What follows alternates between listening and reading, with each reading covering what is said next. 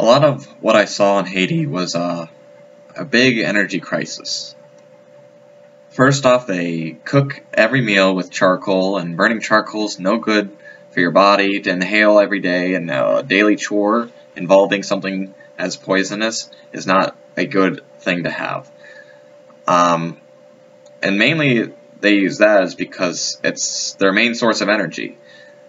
Deforestation in Haiti is a huge problem. It's causing things like this, um, greenhouse gases being burnt off, charcoal being used as a fuel and toxic, and mainly the deforestation causes mudslides and landslides and soil erosion all over the country.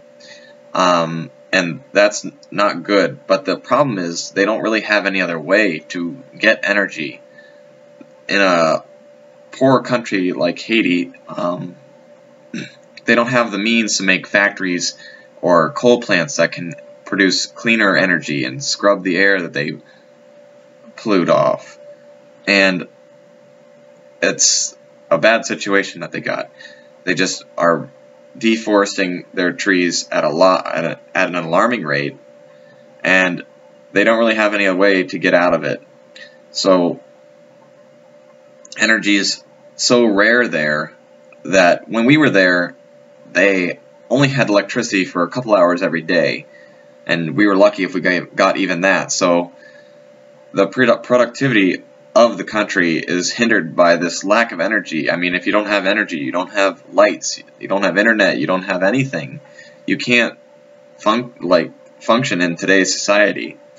It makes you back, puts you back into uh, times before electricity, and that's not a uh, world we live in today, and a, a way you can compete in the world today. So they they're stuck in this third world country status, and they don't really have a way to get out of it. Um, so I we I was thinking that a good alternate source of energy is solar power. You use solar power in places that you can't easily access other forms of energy, clean or in general used energy. So they use solar power in places like space, and third world countries a perfect op, uh, perfect place for something as clean and uh, useful as solar energy.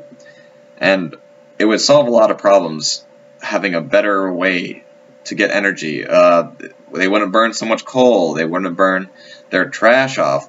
Their trash is another problem. They have trash on the streets and piled up and they just burn it to get rid of it. And that releases all sorts of toxic chemicals into the air and their breathing and living space and it's a it's not a good situation. They don't have the trees to clean up the air for themselves because they're deforesting and they're burning all sorts of bad chemicals and it's it's going it's turning into a turning into a polluted place quickly.